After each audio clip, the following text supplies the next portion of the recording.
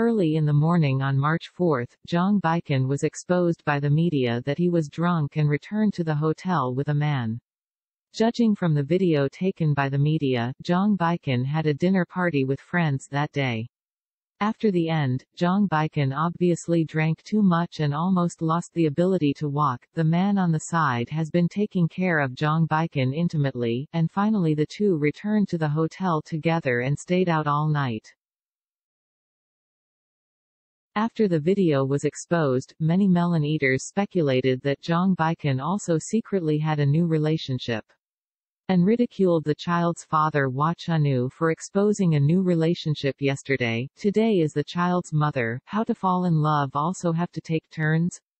As the public opinion fermented, Zhang Bichen quickly responded, denying the relationship, saying that the man who was with him was his eldest nephew.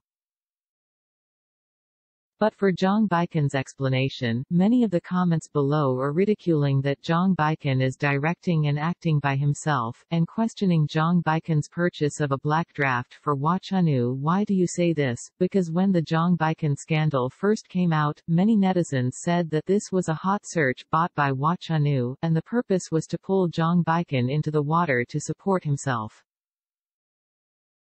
Judging from the current public opinion, the two fans of Hua Chenyu and Zhang Bichen are tearing apart. People who eat melons should know that Hua Chenyu was photographed by the media two days ago and took a woman home for the night in the middle of the night.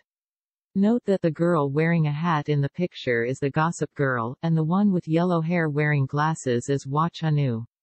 After the two got off the car, they walked together very sweetly holding hands.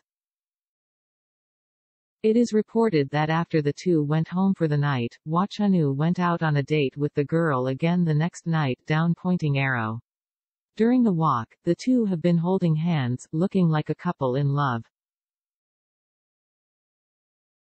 Soon, the girl's identity was revealed to be actor Wang Yueyi. She has a very good appearance and height, and has dyed yellow hair like Hua Chenyu. After the identity was revealed, many netizens expressed their incomprehension. She was very good looking at a young age.